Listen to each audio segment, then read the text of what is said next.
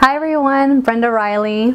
Started Pathway about two semesters ago, September of 2017. It's been a great experience.